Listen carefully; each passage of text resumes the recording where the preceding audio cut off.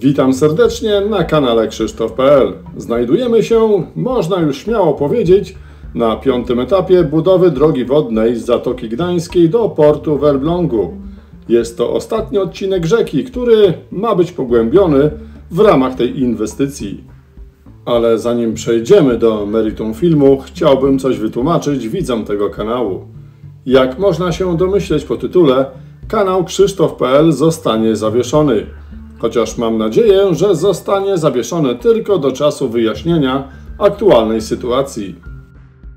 Oczywiście już tłumaczę, na ile mogę sobie pozwolić, o co w tym wszystkim chodzi. Otóż nastąpiły u mnie bardzo duże życiowe zmiany, ale są to zmiany pozytywne, które mają jeden niekoniecznie pożądany mankament. Abym mógł dalej prowadzić ten kanał, konieczna jest zgoda moich nowych przełożonych na tego typu medialną działalność, jaką jest m.in. prowadzenie kanału na platformie YouTube. I stąd ta decyzja. Więcej na temat mojej nowej roli życiowej niestety nie mogę powiedzieć. Nie jest to spowodowane chęcią wytworzenia jakiejś aury tajemniczości. Proszę mi wybaczyć, po prostu tak musi być. Mam nadzieję, że po czasie, choć nie wiem jak długim, sytuacja wróci do normy i będę dalej tworzyć materiały dla szanownego Państwa. Drugą informacją jest to, że chcę się odwdzięczyć, chociaż symbolicznie, moim dotychczasowym wspierającym, taką oto koszulką z moim logo. To będzie prezent na zbliżające się lato, więc jeśli ktoś z tego zacnego grona chce taki t-shirt, niech prześle mi na e-mail swój rozmiar i adres, abym mógł na mój koszt oczywiście przesłać mu taką pamiątkę. Z racji potrzeby zamówienia czekam na takie zgłoszenie przez okres dwóch tygodni od czasu emisji tego filmu. Adres znajdziecie w opisie pod filmem. Ostatnią bardzo ważną informacją jest to, że gdybym nie uzyskał jednak zgody na reaktywację tego kanału, decyzję co z pieniędzmi przelanymi na zbiórkę na drona podejmą sami darczyńcy. Te pieniądze są na koncie i nie przepadną. W przypadku pozytywnego rozstrzygnięcia dalej będziemy przejść do zakupu tego świetnego drona. I po tym oświadczeniu zapraszam do głównego tematu tego filmu. Jak mówiłem na samym początku, wspomnę dziś o kolejnym, piątym już etapie przekopu Mierzei Wiślanej. Mówiąc oczywiście potocznie, bo pod taką nazwą jest głównie kojarzona ta inwestycja. Wspomnę dziś również o szóstym etapie tej inwestycji, czyli budowie obrotnicy dla statków przed portem w Elblągu.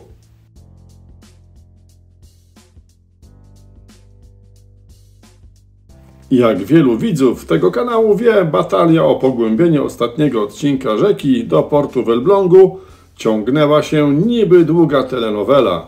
Sam zrobiłem chyba ze dwa filmy tylko w tym temacie. No i jak każdy serial, i ten zakończył się niedawno podpisaniem porozumienia. W końcówce marca tego roku Urząd Morski w Gdyni podpisał porozumienie z Zarządem Morskiego Portu Elbląg w sprawie współpracy przy budowie ostatniego odcinka drogi wodnej z Zatoki Gdańskiej do Elbląga. Szacunkowy koszt tego przedsięwzięcia ma wynieść pomiędzy 30 a 35 milionów złotych. Według informacji zawartej na stronie Urzędu Morskiego w tej chwili trwają jeszcze prace dokumentacyjne i koncepcyjne. Na pewno na tym odcinku będą również przeprowadzone badania ferromagnetyczne z późniejszym usuwaniem ewentualnych przeszkód z dna rzeki, zanim zaczną się, że tak powiem, grubsze roboty jak formowanie brzegów czy pogłębianie trasy wodnej. Elbląg w trakcie II wojny światowej był areną wielkiej bitwy podczas zdobywania miasta przez wojska sowieckie. Na początku 1945 roku miasto zostało w zasadzie całkowicie otoczone. Jednak niemiecka załoga broniąca miasta nie poddała się, lecz przebiła się przez pierścień okrążenia i 10 lutego w nocy i jeszcze o świcie przeprawiała się przez rzekę Elbląg właśnie w okolicach dzisiejszego browaru i portu. Po zauważeniu przez Rosjan tej przeprawy rozpoczął się ostrzał z działu. Przypominam ten historyczny fakt, gdyż właśnie w tym obszarze będą się toczyć m.in. prace pogłębiarskie. Więc tym bardziej badania ferromagnetyczne i usuwanie różnych niespodzianek mają tu ogromne znaczenie. przede wszystkim w kwestii bezpieczeństwa. Również ciekawą wiadomością jest informacja o zawartym porozumieniu w kwestii składowania urobku z dna rzeki Elbląg, który, jak się okazuje, nie trafi w całości na sztuczną Wyspę Estyjską. Przypomnę, wyspa ta znajduje się na Zalewie Wiśnianym w okolicy miejscowości Przebrno. Więc de facto przyczyni się to do sporych oszczędności pieniędzy i czasu. Urobek z prac czerpalnych ma być składowany na działkach będących w dyspozycji Zarządu Morskiego Portu Elbląg i leżących w okolicach rzeki. Szacuje się, że zmieści się tam około 400 tysięcy metrów sześciennych, więc wcale nie tak mało.